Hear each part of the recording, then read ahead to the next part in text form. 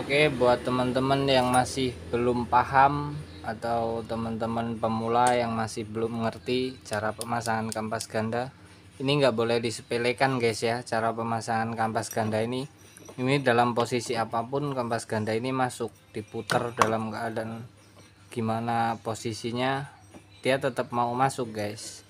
Tapi sebenarnya di sini ada jalurnya untuk pemasangannya Nah jadi kalau nggak dipahami atau kita main plek-plek saja itu pasti ada efeknya. Misal kalau panas mesin untuk jarak tempuh yang jauh suara mesin jadi kasar gitu ya.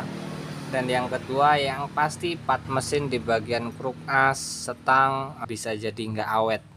Nah tip buat teman-teman kalau mau pemasangan kampas ganda ya. Tak zoom dulu nah ini. Oke. Teman-teman bisa lihat di sini ada dua lubang guys ya. Ini satu ini dua. Dan di sini kruk as ini lo ada lubangnya ini ya. Dalam sini bolong ini. Ini jalur oli dari Pak Kopling. Set masuk ke sini lalu keluar ke sini dan masuk lagi ke sini Nah untuk pemasangan kampas ganda ini ini nggak boleh disepelekan. Ini ada fungsinya guys. Coak-coakan empat ini ya.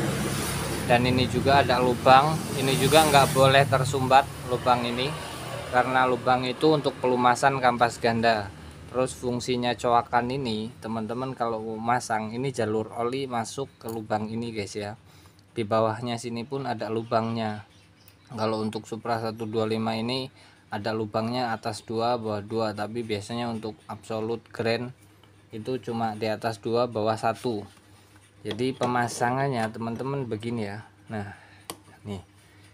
Coakan ini harus lurus sama lubang dua ini ya. Karena nanti oli akan masuk dari coakan ini guys. Nah ini ini jalur oli masuk menuju lubang itu ya lubang di kruk asnya.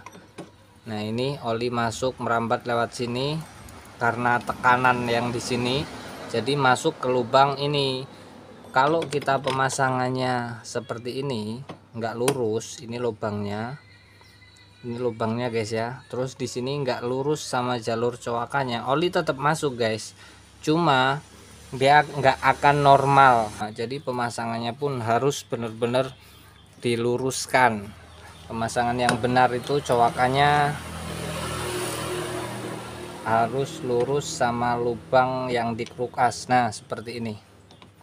Nih ini lurus. Nah yang kedua packing ini jangan sampai rusak guys ya. Ini nggak boleh disepelekan. Packing penutup ini ya oli masuk dari sini keluar dari lubang yang pertama. Jadi kan oli semuanya ngumpul di sini dipompa terus oleh pompa oli.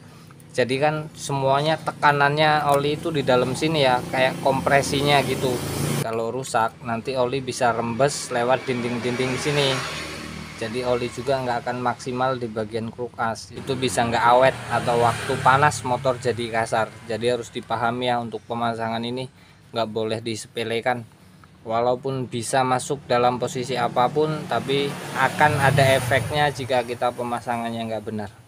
Oke semoga bisa dipahami semoga bisa bermanfaat. Terima kasih. Assalamualaikum warahmatullahi wabarakatuh